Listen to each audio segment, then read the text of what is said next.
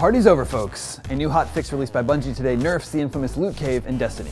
Bungie says, the Hive of the Holy Treasure Cave have realized the futility of their endless assault on Skywatch and have retired to lick their wounds and plan their next attack. Respawn timers have been greatly lengthened for enemies in the cave. This comes alongside several changes designed to keep players from progressing their characters at a faster than usual pace. For example, the currently running Queen's Wrath event will still dole out plenty of legendary items, but salvaging said items will no longer yield Ascendant upgrade materials, which are required to augment legendary armor pieces and level up. Spawn rates for monster caves similar to the loot cave have also been normalized, presumably to keep similar things from happening on other planets.